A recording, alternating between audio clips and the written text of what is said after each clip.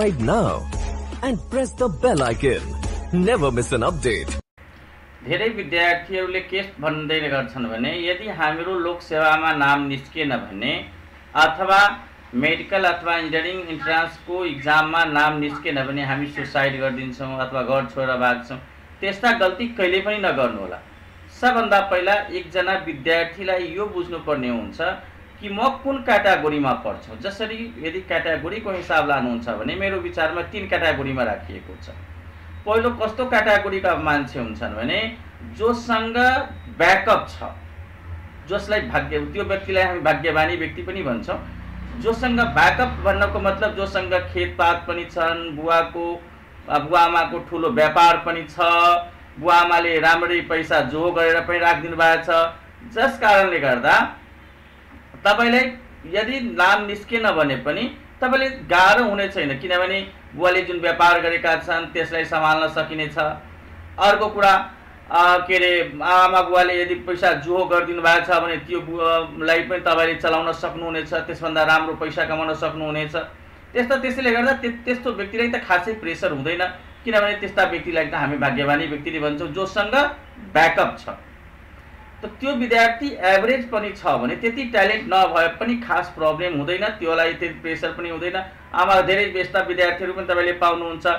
जसलाई आमा बुवाले सकले मेरो बच्चा बच्चा कुनै जब गरोस् अथवा मेडिकलमा नाम निकालोस् ड अथवा इन्जिनियरिङमा नाम निकालोस् यस्ता सोचका पनि प्यारेन्ट्स हुन्छन् कि जाऊ बाबु तिमीहरू निकाल होइन भने त बुवाको व्यापार अथवा जुन खेतीपाती छ बुवाले जम्मा गर्नुभएको छ के जो गर्नुभएको छ पैसा त्यो जम्मा गर्नुभएको छ त्यो पनि छ। त्यो त्यसले गर्दा त्यसलाई त कुनै खास प्रब्लम हुँदैन। दोस्रो क्याटागोरीलाई हामी कसलाई भन्छौँ? जो विद्यार्थी एक्सलेन्ट छन् त्यसलाई सबै कलेज स्कुलदेखि नै फर्स्ट गर्दै आएका छन् स्कुलको स्कुलको टप टेन स्टुडेन्ट छन् राम्रा विद्यार्थी छन्। त्यस विद्यार्थीलाई पनि ब्याकअपको खास आवश्यकता हुँदैन। किन हुँदैन भने त्यो विद्यार्थीले यदि लोकसेवामा नाम ननिस्के पनि अथवा एमबिबिएसमा को तयारीमा नाम निस् ननिस्के पनि नानीको नाम ननिस्के पनि त्यो विद्यार्थीलाई ब्याकअपले कहाँबाट ब्याकअपको काम कसले गरिदिन्छन्? जोसँग नलेज छन्। त्यसले आइएनजिओ एनजिओ धेरै अनेक किसिमका त्यस्ता जबहरू पनि छन् मिडियाहरू छन्। त्यो तिनीहरू तपाईँकोमा गएर तपाईँले काम गरेर मजाले आफ्नो जीवन अथवा आफ्ना परिवार चलाउन सक्ने हुन्छ। त्यसलाई पनि पनि खासै गाह्रो हुन्छ त्यस्तो कुरा पनि होइन। त्यसले तर सकभर जुन हुन्छ राम्रा विद्यार्थी हुन्छन् र टाइम टेबल सबै थोक मिलाएर प्लानिङ गरेर यदि पढ्छन् भने एक दुई एटेम्पमा उसले नाम निकालिहाल्छन्। तिनीहरूको लागि त फेरि खासै गाह्रो त छैन।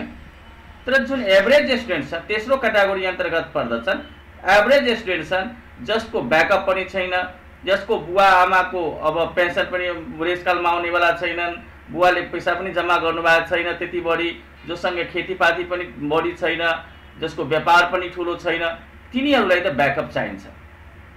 किन ब्याकअप चाहिन्छ भने यदि कि सायद एक त सबभन्दा पहिला तपाईँ एभरेज स्टुडेन्ट हुनुहुन्छ। एभरेज स्टुडेन्ट हुनुहुन्छ भने अब सिलेक्सन हुन पनि अलिक बढी नै मेहनत गर्नुपर्ने हुन्छ। बढी मेहनत गर्नुहुन्छ भने त्यसलाई टाइम पनि तपाईँले बढी कन्ज्युम गरिदिन्छन्। अब त्यसले गर्दा अब यतातिर बुवा आमाले पनि त्यति बढी जम्मा पैसा छैन खेतीपाती पाती पनि बढी छैन। त्यो बेलामा के हुन्छ भने त्यो बच्चालाई ब्याकअपको आवश्यकता पर्छ। त ब्याकअपको कस्तो आवश्यकता पर्छ भने त्यो बेलामा तपाईँहरूले आफ्नो पढाइका साथसाथ लोकसेवाका तयारीका साथसाथ फर्दर स्टडी पनि गर्दै गर्नुहोस्। जसरी भयो ब्याचलर डिग्री अथवा एजुकेसन पनि लिनुहोस् ताकि कहीँ के अरे टिचिङमा आउँछ भने त्यसमा गरिहाल्ने एलएलबीमा पनि गर्नुहोस् एलएलबी गर्नुहुन्छ भने वकिल बन्ने पनि सम्भावना हुन्छन् भने यतातिर के अरे तपाईँको न्यायतिर पनि नाम निस्क्ने अलिकति त्यहाँ सिट पनि सुरक्षित भइहाल्छन् अथवा त्यस्ता टेक्निकल अलिकति जुन जस जसबाट तपाईँको खास परिवार चलाउनलाई यदि निस्किएन भने खास परिवार चलाउनलाई गाह्रो नहोस् भनेर त्यस्तो ब्याकअप पनि लिएर जानुहोस् धेरै विद्यार्थीहरूको कस्तो पाएका छौँ भने अब विद्यार्थी एभरेज नाम एम भनेको ठुलै अब एभरेज विद्यार्थीलाई ना नाम निकाल्न पनि गाह्रो। अब त्यस्तो हुन्छ किनभने यहाँ ट्यालेन्ट विद्यार्थीहरू पनि हुने गर्छन्। अब त्यस्तो अवस्थामा ब्याकअप पनि छैन। अब त्यसमा हामी मात्रै लागिराख्ने टोटली यदि ऊर्जा अथवा टोटली इनर्जी हामी त्यसमै इन्भेस्ट गर्छौँ भने फेरि हाम्रो टाइम पनि लुज समाप्त हुँदै जान्छन्। एज पनि क्रस हुँदै जान्छन्। त्यो बेलामा के हुन्छ भने त्यस्तो मान्छेलाई के अरे जीविका चलाउन बडा गाह्रो हुन्छ। त्यस्तो भए त्यस्तो अवस्थामा विद्यार्थीले धेरै अप्ठ्याराका सामना गर्नुपर्ने हुन्छ। त्यसैले गर्दा तपाईँ कुन क्याटागोरीमा पढ्नुहुन्छ तपाईँ आफ्नो क्यालकुलेसन गर्नुहोस् र त्यो हिसाबले तपाईँलाई ब्याकअप चाहिन्छ कि चाहिँदैन तपाईँ कुन अवस्थामा हुनुहुन्छ यसको क्यालकुलेसन तपाईँले नै गर्ने हो र सुसाइड अथवा यस्ता किसिमका नराम्रा अथवा दुर्घटनाहरू गर्ने प्रयास कहिले पनि नगरिदिनु होला किनभने आजकल बच्चाहरूको यस्तो मेन्टालिटी धेरै बढी आएको कारणले गर्दा यस्ता किसिमको मैले भिडियो बनाउनलाई आज बाध्य भएका छौँ। धेरै आज यस्ता यस्ता भाइ बहिनीहरूले कहानी सुनेका थिएँ। यस्तो त्यसैले गर्दा तपाईँहरू कुन क्याटेगोरीमा पढ्नुहुन्छ त्यो हिसाबले ब्याकअप गरेर र यदि राम्ररी जो विद्यार्थीले लोकसेवाका तयारी गरेका छन् राम्ररी फेरि है राम्ररी तयारी गरेका चाहे त्यो एभरेज स्टुडेन्ट होस् या नर्मल स्टुडेन्ट होस् जस्तो विद्यार्थी भए पनि साँच्चीकै लोकसेवाको तयारी गर्ने गरेका छन् भने उसलाई आफ्नो परिवार चलाउन खास कहिले पनि गाह्रो हुँदैन। हो अब कति यस्ता हुन्छन् कि हावा खाले हावा तालले तयारी गरेको गरे गर्छन्। उनीहरूले के गर्छन् भने पढ्नलाई पढ्ने जाने गर्न यतातिर उता घुम्न जाने क्लास गर्न जाने क्लास गर्नुको सट्टा यताउता गर्न थाले। आफ्नो जुन टाइम म्यानेजमेन्ट छ अथवा टाइम सेड्युल बनाउनु पर्ने हो त्यतातिर काम नगरिकन कुनै डेटमै तपाईँको गएर पढ्ने यस्ता किसिमको तपाईँहरूको जो प्लानिङ नगर्ने यस्ता किसिमका न यदि गर्नुभएको छैन भने आफ्नो टाइम टेबलमा पढ्नु भएको छ।